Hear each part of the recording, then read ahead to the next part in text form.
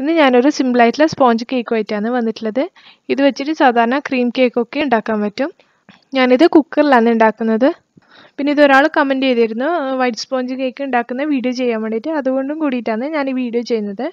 അപ്പോൾ നമുക്ക് നോക്കാം. അപ്പോൾ ആദ്യം തന്നെ കേക്ക് ടിന് റെഡിയാക്കി വെച്ചിട്ടുണ്ട്. ബട്ടർ പേപ്പർ കട്ട് ചെയ്ത് വെച്ച് കൊടുത്തിട്ട് ഈ കേക്കിന് ബാറ്റർ റെഡിയാക്കി കഴിഞ്ഞാൽ ഇതിലേക്ക് വെച്ചിട്ട് പെട്ടെന്ന് തന്നെ കുക്കറിൽ വെക്കാൻ വേണ്ടിയിട്ടാണ്. അപ്പോൾ ഇതങ്ങ് മാറ്റി വെക്കാം. പിന്നെ ഒരു വലിയ ബൗളിലേക്ക് മുട്ട പൊട്ടിച്ച് വെച്ച് കൊടുക്കാം. ഞാനിവിടെ നാല് മുട്ടയാണ് എടുത്തിട്ടുള്ളത്. ഇനി ഇത് നന്നായിട്ട് ബീറ്റർ വെച്ചിട്ട് ബീറ്റ് ചെയ്ത് കൊടുക്കണം. ഇതിന്റെ ഇടയിലായിട്ട് കുറച്ച് കുറച്ചായിട്ട് പഞ്ചസാര ഇട്ട് കൊടുക്കുന്നുണ്ട്. ഞാനിവിടെ കാൽ കപ്പ് മൂന്ന് ടേബിൾ സ്പൂണാണ് പഞ്ചസാര എടുത്തിട്ടുള്ളത്. അപ്പോൾ ഇത് നിങ്ങൾക്ക് മധുരത്തിനനുസരിച്ച് കൂട്ടിയും കുറയ്ക്കുകയും ചെയ്യാം. പിന്നെ ഷുഗർ നിങ്ങൾ ക്രീം കേക്ക് ഉണ്ടാക്കുന്നുണ്ടെങ്കിൽ ഷുഗർ സിറപ്പ് ആക്കുന്നുണ്ട്. പിന്നെ ആ ക്രീമിന്റെ മധുരത്തിനനുസരിച്ച് അതൊന്ന് നോക്കണം. അപ്പോൾ അതിനണക്കായിട്ട് പഞ്ചസാര ഇട്ട് കൊടുക്കുക. ഞാനിത് നന്നായിട്ട് ബീറ്റ് ചെയ്തെടുത്തിട്ടുണ്ട്. ഇനി ഇതിലേക്ക് രണ്ട് ടീസ്പൂൺ വനില എസൻസ് കൂടി ഒഴിച്ച് കൊടുത്തിട്ട് ബീറ്റ് ചെയ്യുന്നുണ്ട്. കാൽ ടീസ്പൂൺ ബേക്കിംഗ് പൗഡറും കൂടി ഇട്ട് കൊടുക്കുന്നുണ്ട്.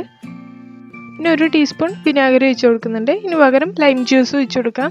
ഇത് കേക്ക് നല്ല സോഫ്റ്റ് ആവാൻ വേണ്ടിയിട്ടും പിന്നെ ഈ മുട്ടന്റെ സ്മെല്ല് ഒരുവിധം പോകാൻ വേണ്ടിയിട്ടാണ് ഞാനിതിൽ ഒരു നുള്ളു ഉപ്പിട്ട് കൊടുത്തിരുന്നു ഈ മധുരം ഒന്ന് ബാലൻസ് ആവാൻ വേണ്ടിയിട്ട് ഈ പഞ്ചസാരന് കുത്തൽ ഒഴിവാൻ വേണ്ടിയിട്ട്. നന്നായിട്ട് ബീറ്റ് ചെയ്തിട്ട് ഇതേപോലെ ആക്കി ആക്കിയെടുക്കണേ ഇനി എന്താ ചെയ്യുന്നതെന്ന് വെച്ചാൽ ഒരു കുക്കറിൽ ഞാനൊരു തട്ട് വെച്ച് കൊടുത്തിട്ടുണ്ട്. ഇതിലാണ് ഞാൻ കേക്ക് ടീന് ഇതിന് മേലെയാണ് കേക്ക് ടീന് വെച്ച് കൊടുക്കുന്നത്. അതുകൊണ്ട് ഈ കുക്കർ ചെറിയ തീയിലാക്കിയിട്ടൊന്ന് വെക്കണം.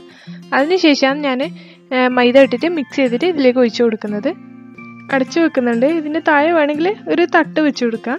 ഇനി നന്നായിട്ട് അരിച്ചെടുത്ത മൈദ ഇതിലേക്ക് ഇട്ടിട്ട് മിക്സ് ചെയ്ത് കൊടുക്കുക അരിച്ചെടുത്താൽ നന്നായിട്ട് മിക്സ് ആവും. ഇവിടെ മുക്കാൽ കപ്പാണ് ഞാൻ മൈദ അരിച്ചെടുത്തിട്ടുള്ളത്. ഇത് കുറച്ച് കുറച്ചായിട്ട് ഇട്ടിട്ട് നന്നായിട്ട് മിക്സ് ചെയ്ത് കൊടുക്കുക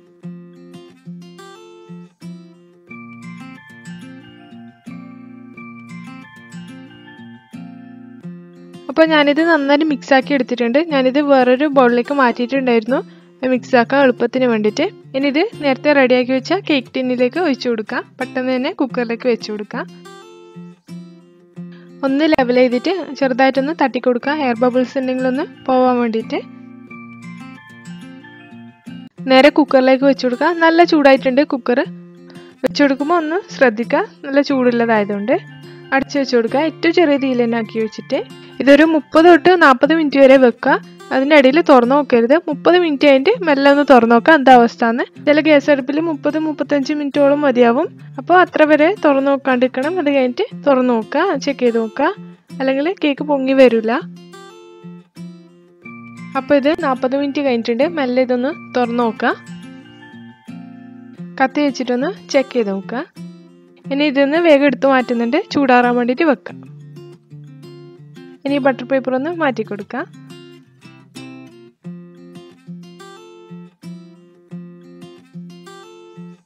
നല്ല സോഫ്റ്റ് ആയിട്ടുള്ള വനില സ്പോഞ്ച് കേക്ക് റെഡി ആയിട്ടുണ്ട്. ഞാനിത് കട്ട് ചെയ്ത് കാണിക്കാം.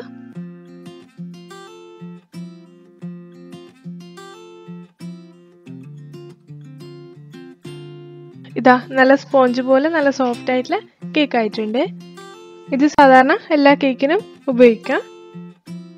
ഇതിപ്പോൾ നിങ്ങൾ ക്രീം വെച്ചിട്ട് ഏതെങ്കിലും കേക്കാണ് ഉണ്ടാക്കുന്നതെങ്കിൽ ലെയറായിട്ട് കട്ട് ചെയ്ത് ഷുഗർ സിറപ്പ് ആക്കിയിട്ട് ക്രീം ഇട്ട് എന്താണ് അതിൽ വേണ്ടത് ആഡ് ചെയ്തിട്ട് ക്രീം വെച്ച് കവർ ചെയ്തിട്ട് ഫ്രിഡ്ജിൽ വെച്ച് എടുത്താൽ നല്ല ടേസ്റ്റ് ആയിരിക്കും. പിന്നീട് അത് കട്ട് ചെയ്യാൻ പോകുമ്പോൾ ഡെക്കറേറ്റ് ചെയ്താൽ ശരിക്കും ഇത് തലേദിവസം നമ്മൾ കട്ട് ചെയ്യുന്നതിന്റെ തലേദിവസം ഉണ്ടാക്കിയതായിരിക്കും കുറച്ചും കൂടി നല്ല ടേസ്റ്റ് ഉണ്ടാവുക. അപ്പോൾ നിങ്ങൾക്ക് എന്റെ വീഡിയോ ഇഷ്ടപ്പെട്ടിട്ടുണ്ടെങ്കിൽ സബ്സ്ക്രൈബ് ചെയ്യണം. ഒപ്പം കമൻസുകൾ അറിയിക്കണം. വീണ്ടും നല്ല റെസിപ്പിയുമായി വരാം. താങ്ക്